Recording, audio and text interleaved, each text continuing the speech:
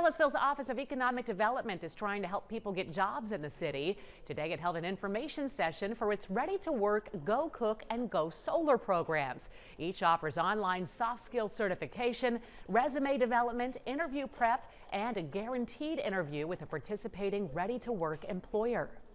We know Charlottesville is expensive to live in and the cost of living is just expensive anywhere oh, you go. So working with those 10 employers is really helped us um, connect folks with meaningful jobs that are a career, not just a job.